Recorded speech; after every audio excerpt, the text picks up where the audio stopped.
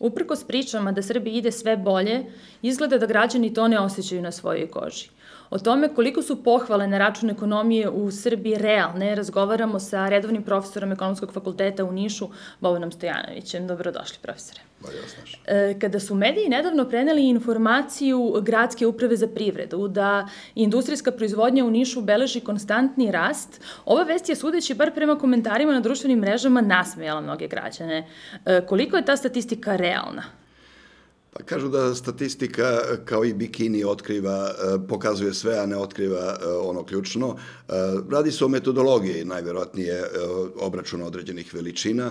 Problematično je recimo podatak da je da pada nezaposlenost na 16% sa 24% je ogromna, ogroman pad i bilo bi dobro da je tako, ali mnogi, naravno i analitičari, izražavaju sumnju u, u takav način dolaženja do podataka. Ali najvjerojatnije se radi o metodologiji promenjenoj po kojoj je to moguće. Ja isto mislim da izražavam sumnju i skeptik sam, mislim, očigledno nam e, po rastu društvenog bruto proizvoda, po svim drugim podacima, e, situacija nije takva. A kada govorimo i o statistici i o zapošljavanju, koliko podatak da 64.000 ljudi u Nišu radi, e, koliko je on dobar, povoljan ili nepovoljan za grad veličine Niša?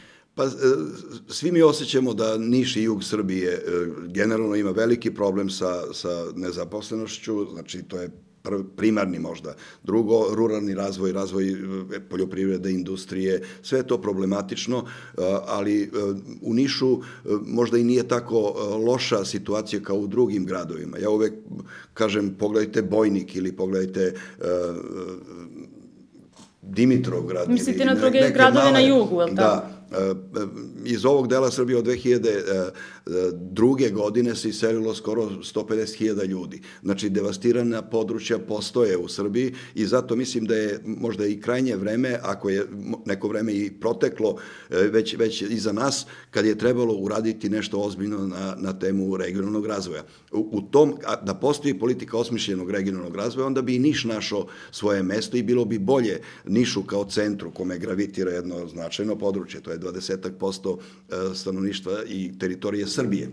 Ako je odgovoran što nema takve politike? E, odgovorna je prvo e, vlast koja nije osmislila strate, dobru strategiju regionalnog razvoja, u dobroj meri odgovornost nose i lokal, donosioci odluka na lokalnom nivou, ali mislim da je njima dosta toga na neki način i e, nedostupno, ali mislim da, da mora kroz recimo fiskalnu politiku, da se politikom recimo jasnih posticaja za investiranje, za mali biznis, za početak biznisa, ali isključivo vezanog za nerazvijena područja ili za jug Srbije recimo, e, jugoistok Srbije, znači takav jedan program jasnih mera, stimulacije privrednih aktivnosti. E, ja ne znam, e, ja nisam čuo sintagmu regionalni razvoj od e, ključnih donosioca odluka u Srbiji, što je veoma loše. E, čujemo da će doći investicije, da će neko da usmeri negde, ali neka osmišljena politika regionalnog razvoja sigurno ne postoji i krajnje je vreme, kažem, ako već nije i kasno, da se nešto bitno uradi. Inače, devastirana područja će biti još više ruinirana i mi, mi ćemo imati problem. Pošli smo od problema Niša, ali mislim, ja mora da gledamo to, to šire i na kraju i, i ove južne vesti se odnose na, na jug Srbije i mora da vodimo računa o, o, o tom uh, veoma, veoma jadnom stanju ekonomije Koje su to konkretne gradovima. mere koje bi unapredile situaciju na jugu? Mislim da treba različita ministarstva, znači u, u sklopu jedne kompleksne politike regionalnog razvoja da počeva od poreskih posticaja, recimo oslobađanje poreza za onoga ko radi novu privrednu aktivnost u trgovištu ili u bojniku, u devastiranim područjima. To može jasno prema nekim podacima i da, da postoji preko e, Fonda za razvoj neki, neke snižene stope e, kreditiranja za nerazvijena područja, ali to, taj e, arsenal mera mora da bude mnogo veći. Znači, počeo od fiskalne politike do direktnog ulaganja države u infrastrukturu, u obnavljanje onoga svega što je, što je propalo, to mora kroz obrazovanje zaista da se malo spreči i odliv. Mi govorimo o odlivu mozgova iz zemlje, ali postoji možda još veći problem odliv mozgova iz malih sredina u, u Beograd.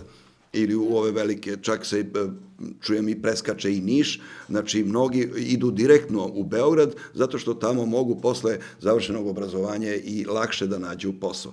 To je loše za, za ovaj deo, naš, naš deo Srbije i, kažem, hitno mora i to da se uradi. E, politika ruralnog razvoja, je čak i kritikovana u ovom poslednjem izveštaju Evropske komisije o napretku Srbije. E, ona ne, ne postoji kao osmišljena politika, e, a uticaj takve pozitivne, dobre, osmišljene politike bi bio veliki upravo za ovaj deo, deo Srbije. Znači, na neki način oživljavanje sela.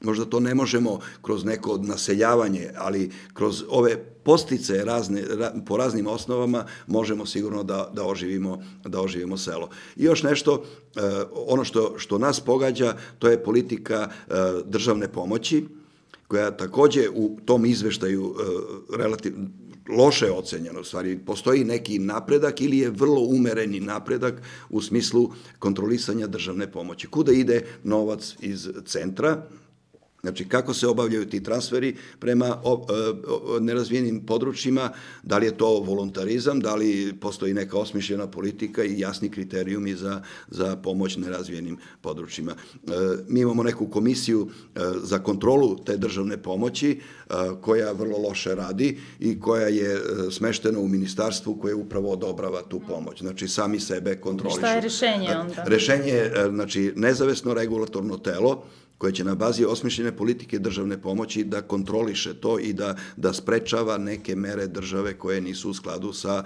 uh, normama Evropske unije. I problem je što nema kontrole nad tim. Da, i tu se narušava ozbiljno konkurencija na tržištu i takve mere su i kažnjive, Znači, e, to postoji kao, kao praksa u Evropskoj uniji. Kod nas, naravno, e, redko ko i zna da postoji neka kontrola državne pomoći. Ona formalno postoji, postoji zakon o kontroli države, državne pomoći, ali su rezultati e, veoma, veoma skromni. A kakva je situacija što se tiče malih privrednika? Svedoci smo toga da oni pokrenu neki posao i vrlo brzo odustanu od njega. Da li to znači da su loši uslovi pod kojima oni rade? Ja mislim da je veoma sužen prostor za takozvani start-up ili za početak biznisa ili za neki mali biznis. To je, nažalost, uh, posledica globalizacije. Došle su krupne firme koje angažuju svoje neke, da kažemo, partnere. E, mnogo toga je decentralizovano. Evo, navešću e, praktično gašenje jugoistoka Niš. E, oko jugoistoka je bilo možda 50 ili više firmi malih koji su radili za, za, za njih. Sada će sve to biti centralizovano u Beogradu i te firme će izgubiti taj posao koji je sigurno za njih bio značajan. Bez stimulisanja opet, znači ne može spontano, ako e, veoma je, prvo je mali obim ekonomskih aktivnosti i e, trebalo bi kroz razne mere stimulisanja tog početka ili familijarnog biznisa recimo, ili početka biznisa ili ne bilo koga, recimo odredite prioritete za ovaj deo Srbije, to je recimo stočarstvo, voćarstvo, proizvodnja vina ili ne znam, zavisi od, od onih e, donosioca odluke kako će prioritete napraviti, za te oblasti obezbedite stimulaciju Znači, po raznim, počevo od poreskih posticaja, može da, da bude, znači, infrastrukturno, mogu da budu urađeni u ministarstvima poljoprivrede, recimo, gotov projekat farme, za koze, za ovce ili tako nešto, dajte čoveku to i neka radi. Naravno, besplatno ili uz neki kredit povoljan, ali najbolje je da, da, da prekšno da se osmisli niz tih mera e, posticaja malog biznisa. Malo pre ste pomenuli baš uh, pomoć države onima kojima država želi da pomogne. Kada govorimo o Leoniju, na primer, nedavno na otvaranju ovih novog pogona u Doljevcu, uh, rečeno je da je to investitor koji je uložio 36 miliona evra, međutim, država je e, njima dala skoro 20 miliona evra. Da li to može da se smatra investicijom ili ne u takvoj situaciji? E, oni koji zagovaraju takvu vrstu pomoći e, se pozivaju na strana iskustva i zaista mora da privučete na neki način e, investitora. Sad je stvar dogovora otprilike sa, sa njima, ali nažalost mi nismo zemlja atraktivna za, za investiranje. Vidite koja iz mnogih razloga. Prvo evo ta nestabilnost potencijalna i politička i tako dalje koja se od danas praktično dosta smanjuje mi i dalje i pojedinci i firme imaju veliki problem sa, sa državnom administracijom. Drugo, e, Postoji posle svetske ekonomske krize neke posledice deinvestiranja i ponovnog investiranja i postoji ipak atraktivnije de destinacije nego što, nego što je Srbija. U tom smislu na neki način treba stimulisati kao ovo o čemu sam prethodno govorio i strane investitore, ali to mora da bude, ako je takva srazmera, kao što ste vi rekli, to je zaista nedopustivo. Mislim, može da se stimuliše sa 10%, ali To je ipak tako, više. Da ipak vi potpuno uložite najvjerojatnije da postoji drugi aranžmani u kojim učestvuje država e, koji su na izgled dobri, ali e, pitanje je koliko sve to košta nas poreske obveznike. U državi se štedi uz veliku medijsku pompu, znamo da su smanjene plate u javnom sektoru, snižene dnevnice, sa druge strane ne vidimo te jaki investitori ili eto ko ih bude, onda i oni dobijaju pomoć od države. E, gde može da nas odvede takva štednja bez investicija? Vrlo je opasan taj koncept e, smanjenja agregatne tražnje. Znači, ako vi oduzimate od stanovnika e, svih struktura praktično, od nekih jasno kroz direktna e, propise i izdvajanja, vi smanjujete tražnju svakog pojedinca, taj pojedinac nema e, dovoljno ili ima manje novca za kupovinu, automatski e, proizvođač koji snabdeva trgovinu e, smanjuje svoj obim proizvodnje i to je jedan začarani krug koji može da da loše posledice. To je liberalni jedan koncept u ekonomiji koji je prihvaćen i od strane nove vlade, vlade kažem, i ranije je to bilo, ali tu jedan kenzijanski model bi možda mogo da da e, i, i bolja rešenja. Hrvatska recimo ide drugačijim e, putem, znači povećate tražnju da bi se povećala poveća obim ekonomskih aktivnosti. U Srbiji je problem što imamo tradicionalno e, debalanse, odnosno više, mnogo više uvozimo nego što izvozimo i, i onda bi ta narasla tražnja e, više išla ka stranim proizvodima ili srazmerno više i tu je jedini problem koji sa, sa, tak, sa takvim jednim konceptom. Ali, kažem, osiromašenje stanovništva pa i, i privrede e, nije dobro zato što, što jednostavno ima manje novca kojima bi se e, postakla nova neka aktivnost. Spoljni dug Srbije iznosi 75% bruto društvenog proizvoda, što je 26 milijardi evra. Kako nekome ko nema ekonomsko predznanje objasniti o koje cifri reč i da li građani treba da se boje tog duga?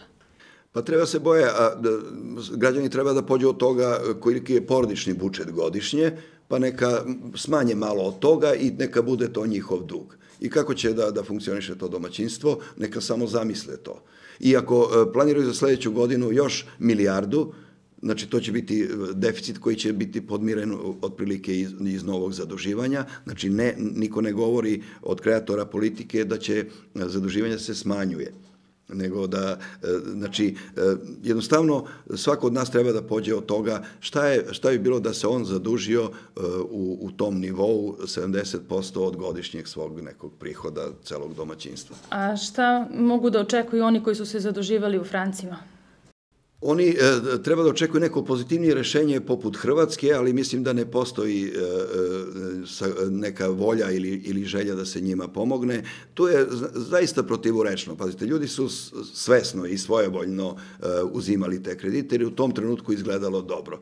Naravno, običan korisnik kredita ne mora da bude ekspert u, u ekonomiji pa da predviđa situaciju, ali koliko ja znam i guverner Jelašić, o kome ja nemam posebno dobro mišljenje, je upozoravao ljude da, da budu obazrivi, obazrivi sa tim. U zemlji u kojoj e, je vlada eurizacija, kao što je ranije bila nemačka marka, svaka neka igra sa nekom drugom valutom je potencijalno opasna i, i ispostavilo se da ovo jeste tako, U Hrvatskoj je mnogo više toga, pa je država jasnije stala iza, iza tih zahteva da se nešto omogući. Naša Narodna banka je predložila četiri modela, to jeste neka olakšica, ali ne ne nešto e, drastično dobro i neće to bitno poboljšati položaj tih korisnika kredita. I zamolio bih vas za kraj da nam kažete kratko šta očekujete od otvaranja poglavlja pregovora sa Europskom unijom.